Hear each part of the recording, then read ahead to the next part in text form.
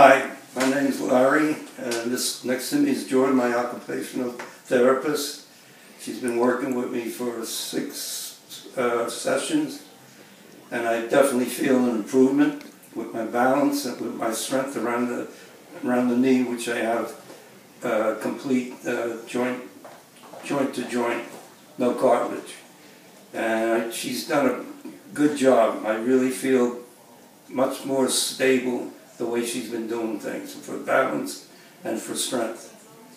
And if Jordan wants to say something bad about me, he do it now. Nothing bad to say. Larry's been doing an awesome job. Um, he's working really hard at increasing his functional strength with his knees, which is helping him become more functional around his home and in his environment within the community because it's increasing his functional mobility.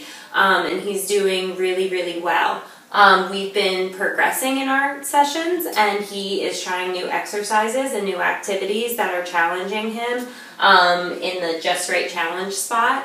Um, so each time I'm seeing great improvements, I'm really proud of him. And I'm proud of her. She's doing a great job.